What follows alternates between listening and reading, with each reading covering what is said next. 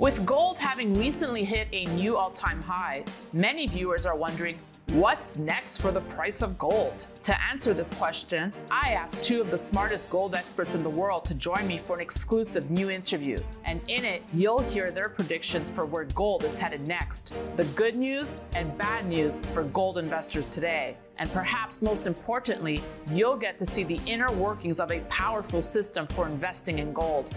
A system which has delivered audited gains of 706% for more than two decades, crushing the return of gold, the returns of major gold funds, and more than doubling the S&P 500. To be among the first viewers to see this exclusive new interview, head to 2023goldrush.com to sign up for a reminder when we go live. Again, that's 2023goldrush.com.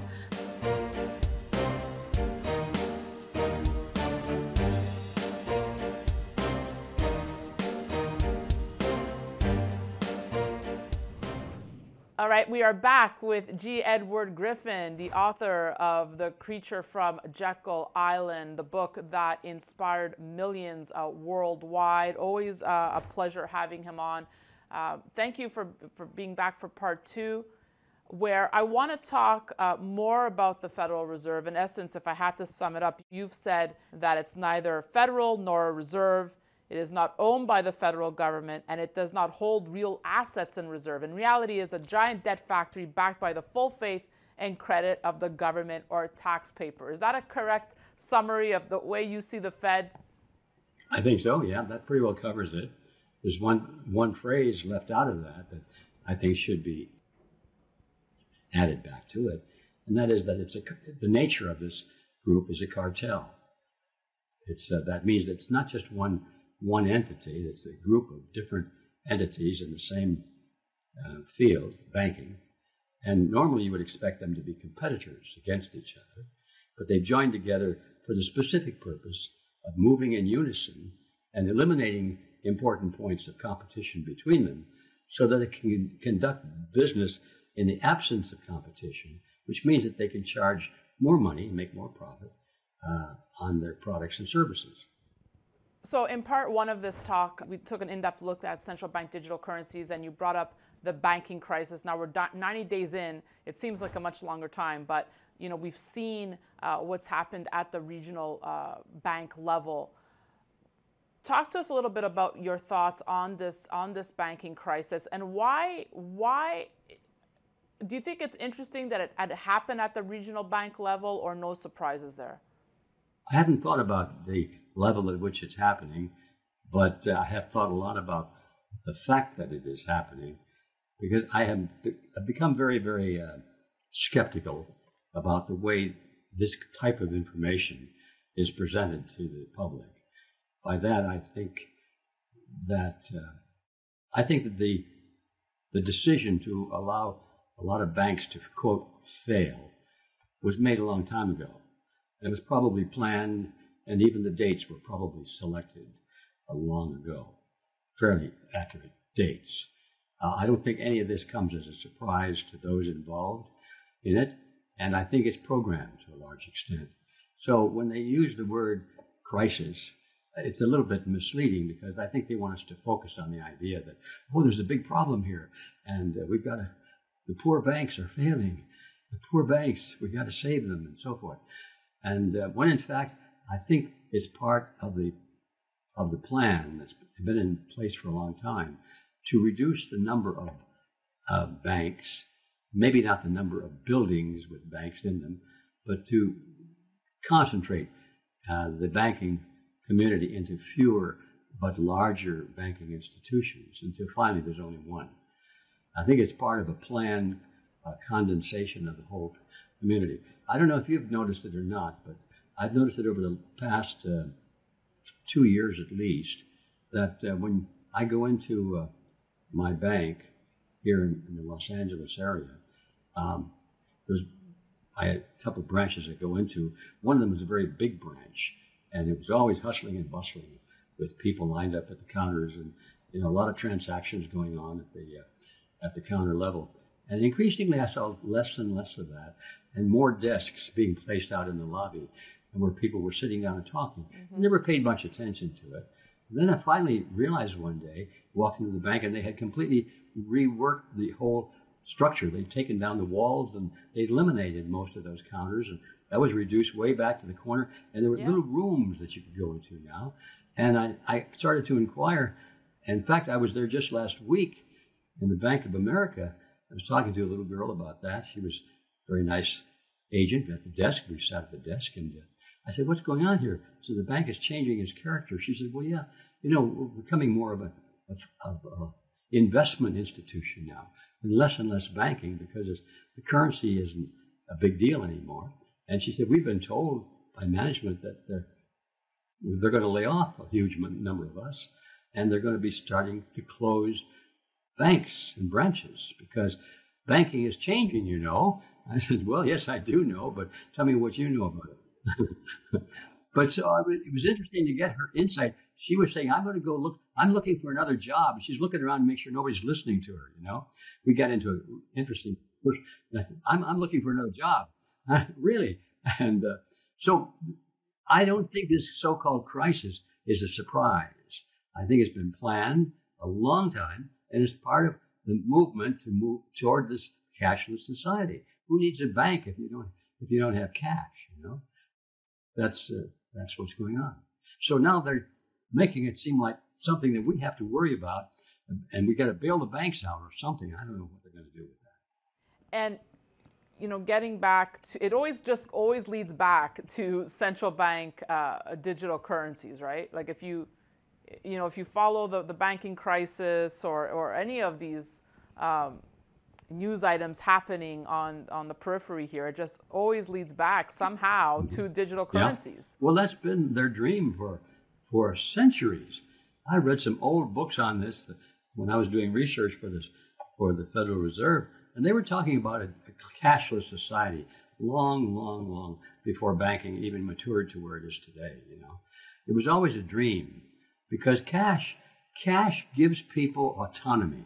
It allows them to be independent of others. If you got money, baby, you know, you got the cash, I've got the place to go. That sort of jokes about that. You know? I want to talk de-dollarization, um, since this is a very hot topic uh, with many of the experts ha- that have come on. And I know the last time you were on, um, one of your points is you you weren't you wouldn't be surprised if part of the the mandate was to weaken uh, the U.S. dollar to usher in again the central bank Yes. digital currencies. Um, now everyone's talking about de-dollarization and, and the rise of the, the BRIC nations. And I'm curious to get your, your thoughts on if you feel we're really at the end of the road of the dollar as the reserve currency or not yet. Well, I do feel that we're at the end of the road. Um, now, the question is how close to the end of the road? I don't know. I've been very, very. Yeah, Better I have been very. Uh,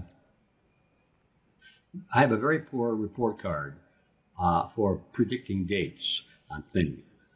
I, I, I'm practically flunking out every time because I always think these things are going to happen sooner than they do, but they're somehow able to kick the can down the street a little bit more than I thought it would be possible. So I have, I really hesitate to say when, but I think it's soon. Let's just leave it at that. Um, but that is happening and probably going to happen in our lifetime, even my lifetime. Is there's no doubt in my mind of that. That's that how, that's how close. Do you think the U.S. government, do they want it to happen? Do they want to weaken uh, the U.S. dollar or are they going to be prepared to fight back? That's a revealing question because we say, would the U.S. government fight back? That implies that you think there's a difference between the U.S. government and the banks. And my view is the banks own the government. The government will do whatever the banks want them to do.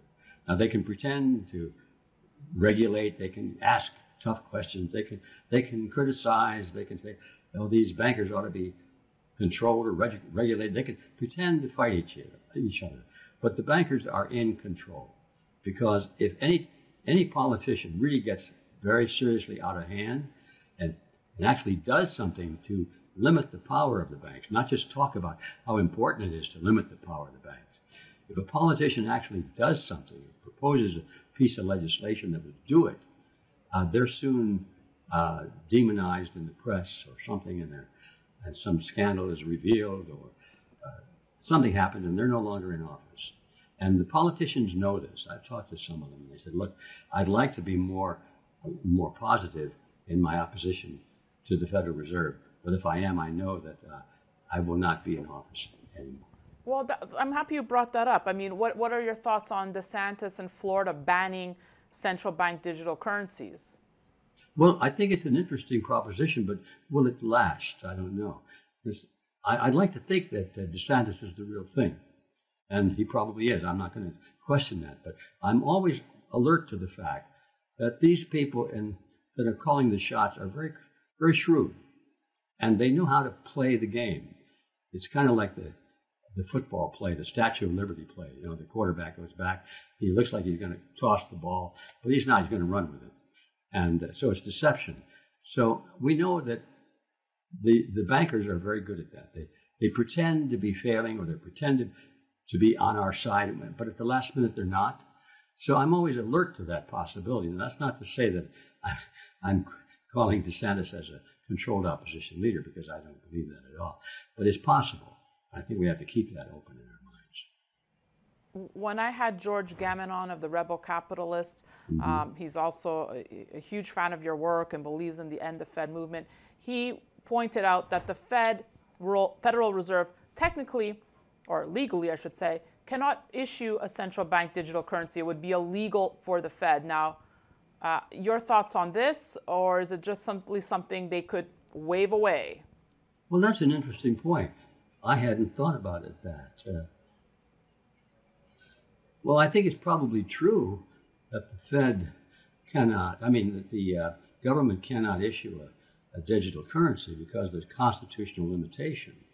It says it has to be a coin, silver or gold coin. It would have to be any, if the federal government issued it, that would be limited to that. But the Federal Reserve, it means the banking cartel, is issuing our money now, and they get, they're getting away with it. They're issuing paper currency. Now, the government couldn't get away with it because the Constitution limits what the government can do, but the Constitution doesn't limit what a private bank can do. So, in essence, they got around that limitation by uh, transferring the power to create money from the federal government to the Federal Reserve System. And now, since they're both the same, see that the trick they pulled is that people still think the Federal Reserve System is different from the government and they don't realize that there's a difference between legal constitutional money and um, mm. and currency that's not backed by constitutional principles. As long as you can spend it, that's all people care about. They don't care about its legality or constitutionality. The third pillar, you know, I know we spoke, we spoke the banking crisis, we spoke central bank digital currencies. I also want to get your latest thoughts on inflation because since we last spoke, the Fed uh, has managed to uh, dramatically bring down uh, inflation, and some would say they've definitely won the fight here. I know you've been made it very clear that they created the inflation in the first place, but your thoughts on the inflationary times uh, that we're living in and how you're navigating it? Well, I think it's pretty clear that we're living in a period right now of great inflation. I'm going to guess it's, it's greater inflation than we have ever experienced, even in times of war, because the amount of money that's coming into existence daily now is just it's just unbelievable. We, the quantities that uh, it was being brought in, like five years ago, into into being five or ten years ago, was in my view just unbelievable and today, now it's 20 times or 50 times more than that. There's no, there's no doubt in anybody's mind that I've talked to that this, this can never be repaid back. This is a, this is a, a game. The idea that they're creating money and debt that's going to be paid back is uh, just for show because there's no, there's no physical way for that to happen. So that everybody knows, everybody knows in the business that at the end of this game, the money system collapses or has to be replaced by something else.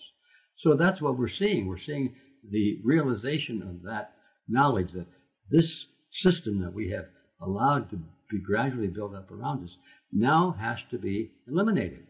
because you can't continue it anymore. It's just, it's through, it's kaput. The $32 trillion in debt, 32 trillion. And when you speak of a new system, you're speaking of the Great Reset, correct?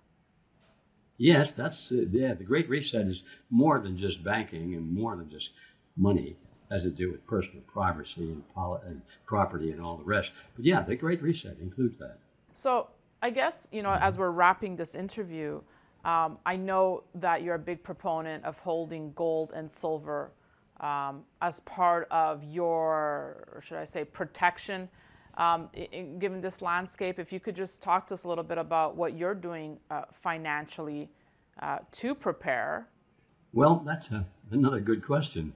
Uh, yes, I, am an advocate of gold and silver as a uh, in, inflation hedge and uh, as a means of maintaining some some currency that's in private use. It might even be black market use, because I think the people who are working toward this uh, cashless society probably don't want people like me or you to have gold or, or silver coins. So they'll probably pass a law making it illegal because they'll say these nasty people are going to upset a beautiful, wonderful system, the Great Reset. They're going to, they're dealing with in the black market, and people are, are buying drugs with gold so silver confiscate it, confis- they'll confiscation. Confiscate it. Yeah, or they'll punish you for having it. And or trying to use it. They'll do what they can to prevent you from using it. But nevertheless, the black market will exist. It always does. I, I was talking to a fellow here just yesterday that was raised in the Soviet Union, and um, they, you know, they didn't allow uh, the black market on the surface. You were punished if you were using the black market and not using the Russian ruble and buying stuff in the company store. But never, but everybody did it. That's the point. and only those who were in, in misfavor with the government were the ones who were uh, published. But all the commissars and all the communist officials were in the black market too. So it was one of those things. We're probably evolving into that kind of a situation for a while, imagine. So is crypto a better answer then? Crypto? Well, Bitcoin. No, because they'll have complete control over the crypto. And if you want to use it for anything except buying lettuce or tomatoes from your neighbor uh, or eggs. You know, you, uh, cryptos can be decentralized on a local level, and you could have some privacy, and I think it would probably work at a local level. But for going to the store and or buying gasoline or traveling or paying the rent and stuff like that, I'm afraid it, it's not going to work. Do you, um, I mean, you know, just getting in the, back in the future, that the, these people that are putting this plan together do not want independent private crypto crypto to work, and they're going to see that it doesn't work if they can. I mean, you're obviously still part of the banking system. Uh, you know, you mentioned about going to Bank of America and whatnot, but uh, so at some point you're still part of the system, right? Like, do you have plans that you want to be completely out of the system? Well, I don't think it's possible to be completely out of the system. I take my hat off to those who are trying to do that, but I, I don't think it's possible. Nevertheless, maybe it is, and I, I wouldn't advise anybody not to try it. And so there are a lot of people, as you know, trying to do that. But you asked me what, what I'm doing. Yes, what little savings I have, I've tried to put a lot of it into into one ounce gold coins and silver right. coins, mostly silver, because the price of gold is so high.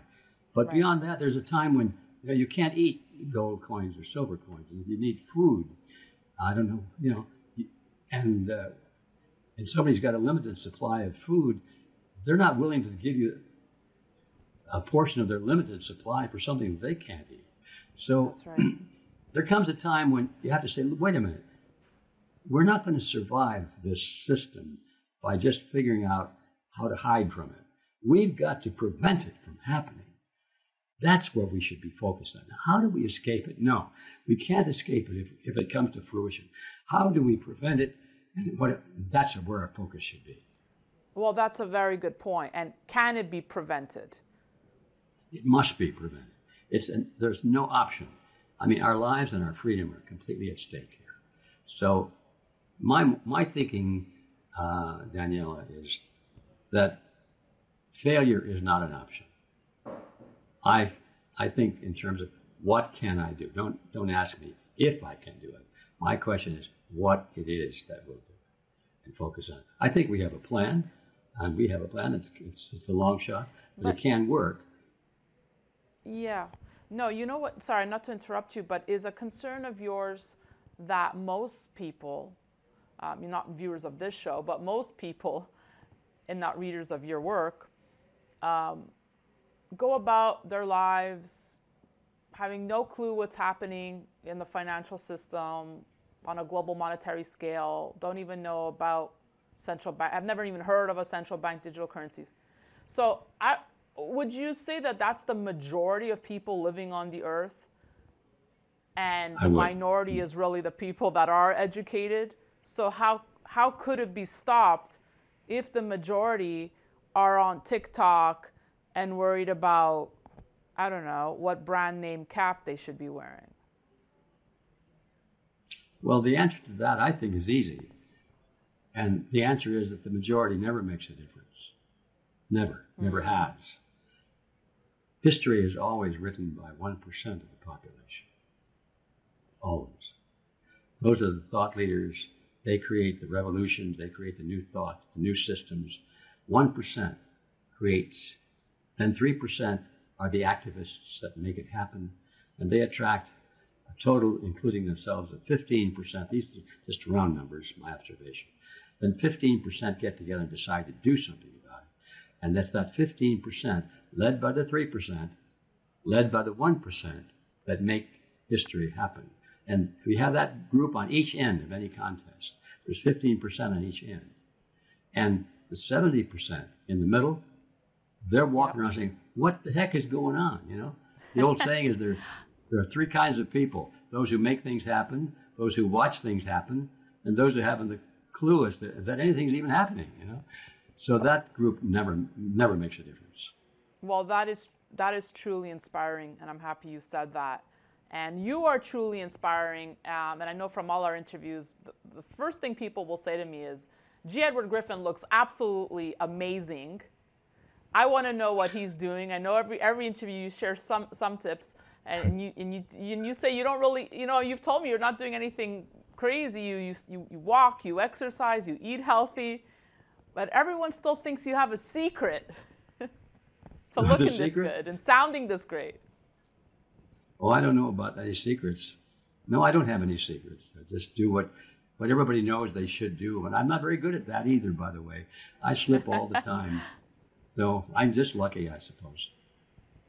Well, uh, you keep being you. Um, I want to thank you again for, for coming on my show and I'll leave you with the last words. Uh, you know, I think your last statement was, was quite powerful and inspiring. But anything else you'd like to add uh, to the folks at home watching? Well, I wanted to, I want to repeat what I just said a moment ago. We worry about what's happening in the world, and the first thing is how do we escape? I honestly don't believe it's possible to escape. I think our focus needs to be turned to what can we do to change it, to keep it from happening, to reverse the trend. I know it can be done. It's things like this have always happened in history. At the last minute, hopeless causes. But take the American Revolution as a perfect example. There's no way in the world we had any expectation of winning that war against Great Britain or England. King George's troops were the most powerful military force in the world. There were a bunch of farmers there in, in the colonies that couldn't even couldn't even add a column of numbers. Ignorant people, but they knew how to grow things and how to shoot a rifle. So, you know, there was not, not a chance until Washington in the last day said, Men, a lot of you guys go home on Christmas Day or New Year's Day. Your enlistments are over and you're, you're entitled to go home, but I'm going to cross the Delaware. Anybody with me tonight or tomorrow? and we're going to surprise the enemy. And that's what they did. They crossed the Delaware cold night. Many of those soldiers didn't even have shoes. They had they had to tie cloth around their feet. They, they got on these boats, went across the frozen river. They had one cannon in the boat, and when they got there, like, like two two o'clock in the morning, the Hessians were all asleep in their bunks, drunk a little bit because they were celebrating the Christmas holidays and they found a, the British cannon in the in the middle of the road when they got to the little village where they were, and they turned the cannon around and fired it down the street. Boom! Three o'clock in the morning.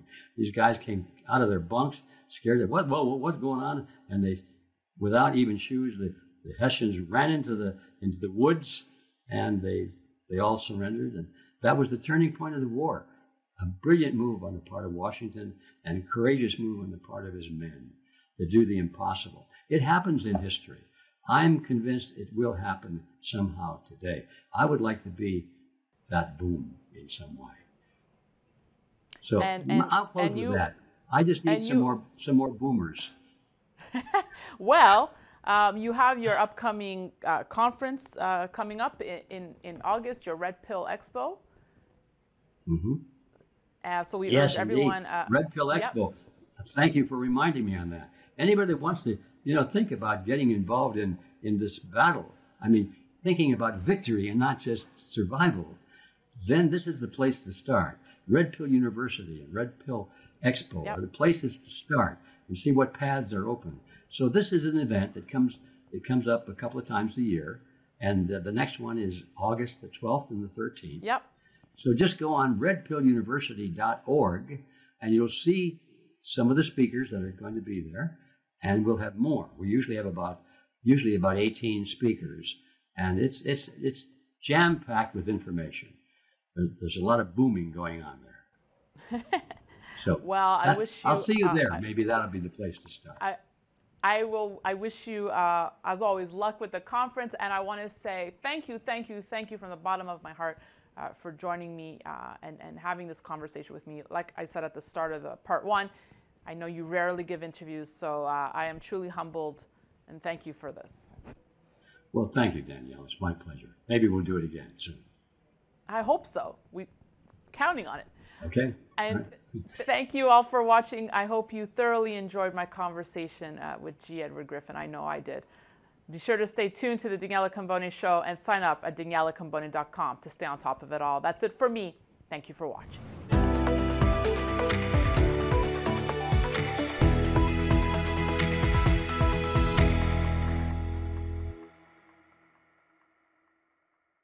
Opinions expressed on this program are solely those of the contributor and do not necessarily reflect the opinions of Stansberry Research, its parent company, or affiliates.